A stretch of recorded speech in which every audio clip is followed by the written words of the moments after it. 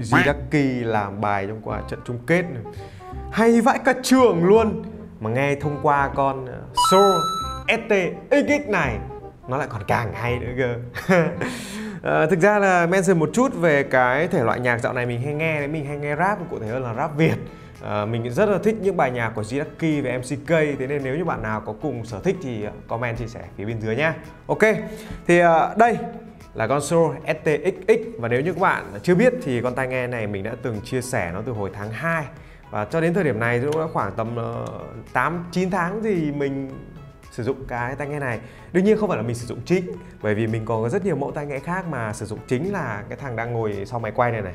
À, toàn nó sử dụng cái tai nghe này rất là nhiều nghe nhạc rồi chơi game có bán PUBG bằng cái tai nghe này luôn kinh vãi cả trưởng thì ngày hôm nay mình muốn được chia sẻ đến cho bạn những cái trải nghiệm sau một khoảng thời gian rất dài như thế. Với mẫu tai nghe này thì nó còn được có những trải nghiệm như thế nào?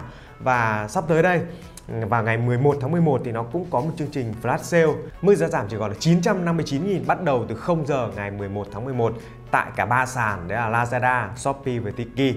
Nếu các bạn quan tâm thì link mình sẽ để phía dưới và các bạn đừng bỏ lỡ cơ hội này nhá. Trước cái thời điểm lúc trước ờ, mình chia sẻ với con này có rất nhiều bạn tiếc vì không mua được. Nên là lần này cố gắng nhá. Ok. Rồi, quay trở lại cái vấn đề thì tai nghe này nó có gì và tại sao các bạn nên mua cũng như là nó có xứng đáng để mua hay là không thì cái điều đầu tiên chính là cái hộp sạc của nó rất là nhỏ gọn như vậy thì mình đã từng chia sẻ nó giống như kiểu là một cái nồi cơm điện này. Bé xíu xinh xinh đáng yêu mở ra trông như kiểu mở cái hộp đựng nhẫn ấy.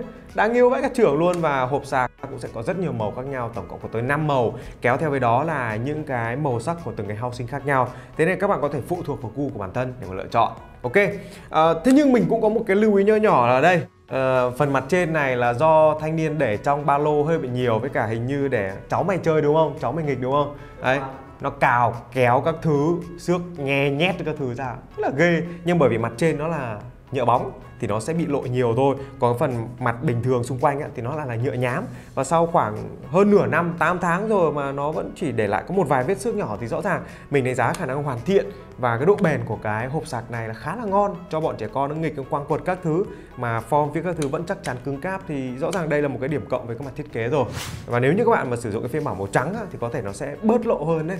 Nên các bạn có thể lưu ý nhé ok rồi, đi vào đến bên trong thì pin cho đến thời điểm này thì nó vẫn có thể đáp ứng được vào khoảng tầm 20 tiếng nghe nhạc khi mà chúng ta kết hợp với cả cái hộp sạc này. À, sau khoảng vài tháng như này thì mình đánh giá là pin của con Soul STX này nghe liên tục nó được khoảng tầm 4 tiếng hơn. Thì rõ ràng đây vẫn là một cái mức pin thực sự là quá ngon cho một cái mẫu tai nghe nhỏ xíu như thế này mà nó lại còn siêu nhẹ nữa nên ok đúng không à, chạm cảm ứng thì nó vẫn nhạy vẫn ở rất ổn ở cả hai bên. Cái khả năng kết nối gọi là tự động kết nối lại ở cả hai tai thì nó vẫn thực sự rất ngon như thời điểm đầu. Thậm chí nói về những cái độ trễ trong quá trình mà các bạn kết nối đến cái điện thoại thì nó không hề bị giảm sút một tí nào cả. Nó vẫn là bluetooth 5.0 nó vẫn mang lại một trải nghiệm kết nối cực kỳ tốt. Nên đây cũng là một cái lưu ý dành thêm cho các bạn nhé. Có nhiều bạn thì có thắc mắc đấy là tại sao đôi khi em chỉ kết nối được có một bên tai? Thì uh, các bạn chỉ cần để vào trong cái hộp sạc reset cái tai nghe này lại sau đó kết nối một bên tai vào cái điện thoại, sau đó đặt hai cái tai nghe này vào hộp sạc là nó sẽ tự động kết nối lại với nhau luôn. Nói chung là dễ một cách kinh khủng luôn, nên các bạn cũng có thể tham khảo thêm nha. Ok. Rồi, bây giờ sẽ nói lại một phần liên quan đến chất âm mà mình thấy là sau khoảng hơn nửa năm mà mình nghe lại thì mình thấy nó hay hơn. Nếu như bạn không biết thì rất nhiều mẫu tai nghe chúng ta sẽ cần phải trải qua một thời gian gọi là burn in để mà cho cái màng loa nó mềm hơn, để cho cái màng loa nó thể hiện âm thanh nó ngọt ngào hơn, nó kiểu mượt hơn ấy. Thì đây đây là một cái ví dụ ở một cái tai nghe có thể nói là giá rất rẻ, mà sau một khoảng thời gian Brin nghe nó lại hay hơn. Đó, cái đầu tiên mình cảm nhận thấy đấy là âm thanh nó bây giờ khá là nổi và nó khó khá là rõ ràng ở cả ba giải giải bass, giải mid, giải chép. Các bạn sẽ không thể nào yêu cầu được chúng ta phải có một chất âm thực sự là quá bùng nổ hay là một cái chất âm quá chi tiết ở trong cái tầm giá này. Nhưng rõ ràng chúng ta vẫn nghe được rất rõ ràng những cái tiếng bass, những cái tiếng bass. Các bạn nghe những thể loại như Vina House, những thể loại nhạc sôi động, nhạc remix rất ổn trên cái tai nghe này lượng bát khá là đủ. Và nếu không muốn nói là nó sẽ hơi bị dầu hơi bị dư một tí. Thế nên bạn nào mà kiểu dạng bát hét thì nghe cái tai nghe này sẽ thấy khá là ok. Giọng hát của ca sĩ thì nó sẽ phù hợp với giọng nam. Một vài những cái thể loại uh, hơi trầm trầm một tí một vài những thể loại hơi tối tối một tí thì nghe kiểu thú vị lắm. Đặc biệt là bạn nào mà nghe rap trên cái tai nghe này này thì mình sẽ cảm thấy nó rất là hợp.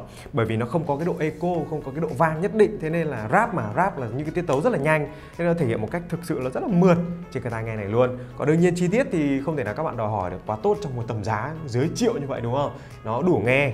Chi tiết thì sẽ đôi khi bị mất một vài những nốt trên cao nhưng mà vẫn ổn. Nhưng mà được cái, sau một khoảng thời gian dài như vậy Berlin á, thì mình đánh giá là chép ạ nó đã tốt hơn, chi tiết đã tốt hơn so với thời điểm cách đây đâu đó tổng hơn nửa năm mà mình review về cái tai nghe này nói chung là ổn, đúng không? Và không thể thiếu được, nó còn tính tính năng transparent audio, tức là các bạn có thể nghe xuyên âm để chúng ta có thể vừa nghe nhạc mà không bị bỏ lỡ đi những cái thông tin quan trọng bên ngoài. Ví dụ như là người nói, các kiểu. Ok nhá. Nói chung là với con Soul STX này thì à, bản thân mình đánh giá là ở cái mức giá hiện tại, tuy rằng nó đã cao hơn so với lúc trước, bây giờ là 959 nghìn, vẫn dưới 1 triệu. Thì các bạn vẫn có một cái chất âm thực sự là rất ngon bass tốt, mid ok, chép chi tiết đủ nghe bên cạnh những cái trải nghiệm mà nó mang lại như là thời lượng pin tốt, cảm ứng nhạy, tính năng xuyên âm, sạc tai si rồi sau một khoảng thời gian rất dài mà trải nghiệm nó mang lại vẫn rất tốt thì, thì các bạn nghĩ sao? Hãy comment chia sẻ ý kiến ở phía bên dưới nhé. Đừng quên là sản phẩm này sẽ được flash sale trên cả ba sàn là Tiki, Lazada và Shopee với mức giá chỉ là 959 000 mà thôi. Link sẽ ở phía bên dưới mình sẽ ghi comment để các bạn tiện theo dõi hơn nhé. Còn bây giờ thì bye.